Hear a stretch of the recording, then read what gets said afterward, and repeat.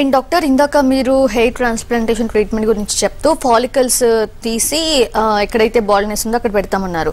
So ఎవరిది వాళ్ళకే use చేస్తారా ఈ ఫాలికల్స్ అనేది? లేదంటే uh, బయట వ్యక్తులది కూడా యూజ్ చేయొచ్చు డాక్టర్? ఎస్ డెఫినెట్లీ అండి. చాలా మందిలో ఇది ఒక పెద్ద పెద్ద కన్ఫ్యూజన్ క్వశ్చన్ అనమాట ఇది.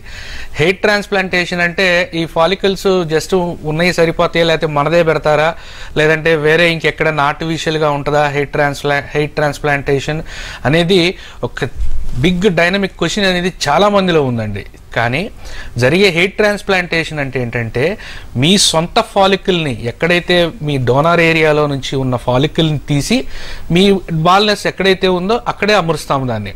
అండ్ ఇంకోటి చాలామంది ఏమనుకుంటారు ఇది న్యాచురల్ కాదేమో మనం హెయిర్ ట్రాన్స్ప్లాంట్ చేయించుకున్న తర్వాత అది ఇంకా అలానే ఉండిపోయింది జుట్టు అది పెరగటం కానీ ఇలా ఏం ఉండదేమో అనుకుని కూడా చాలామంది నన్ను క్లయింటల్స్ నన్ను క్వశ్చన్ చేస్తూ ఉంటారండి. అబ్సల్యూట్లీ న్యాచురల్ ట్రీట్మెంట్ అండి హెయిర్ ట్రాన్స్ప్లాంటేషన్ అనేది. మీ యొక్క ఏదైతే జుట్టు డోనార్ ఏరియా నుంచి జుట్టు తీస్తామో అది తీసి బాల్నెస్ ఉన్న ఏరియాలో ప్లేస్ చేయటం వల్ల ఏమైంది అంటే మళ్ళీ మీ మీ యొక్క సొంత హెయిరే అక్కడ పెరుగుతూ ఉంటుంది. దాన్ని మళ్ళీ అది గ్రోత్ ఆగిపోతుందనో లేదంటే లేదంటే మళ్ళీ తర్వాత ఇంకా రాదనో అలానే అలానే ఉండిపోయిద్దేమో అని చెప్పి చాలామందికి చాలా అనుమానాలు ఉన్నాయి. హండ్రెడ్ పర్సెంట్ న్యాచురల్ అండి. మీ ఓన్ హెయిర్నే తీసి హెయిర్ ట్రాన్స్ప్లాంటేషన్లో అమరుస్తామన్నమాట. అలా అమర్చిన తర్వాత హెయిర్ దానంతట అది మళ్ళీ నేను ఇందాక ఫస్ట్ భాగంలో చెప్పినట్టుగా హెయిర్ సైకిల్ అనేది ఉంటుందని చెప్పాను.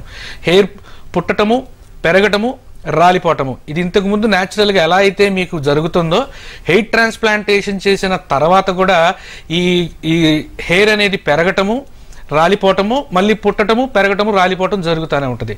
సో ఇంతకుముందు ఎలా అయితే మీ హెయిర్ని న్యాచురల్గా మీరు సెలూన్కి వెళ్ళి హెయిర్ ట్రిమ్మింగ్ చేసుకుంటాం లేదంటే హెయిర్ స్టైలింగ్ చేయించుకోవటం లేదంటే ఇంకా వేరే ప్లీగ్రిమ్ సెంటర్స్కి వెళ్ళినప్పుడు హెయిర్ జుట్టు షేవింగ్ చేసుకొని దేవుడికి ఇస్తామని ఎగ్జాక్ట్గా ఎవ్రీథింగ్ విల్ బి న్యాచురల్ ఎలా అయితే మీరు ఇంతకుముందు న్యాచురల్గా ప్రాసెస్ జరుగుతూ ఉంటుందో సేమ్ అదే ప్రాసెస్ జరుగుతూనే ఉంటుందండి మీకు.